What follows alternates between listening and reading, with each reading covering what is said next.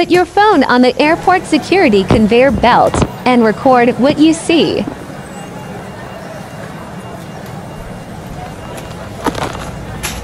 Hehehehe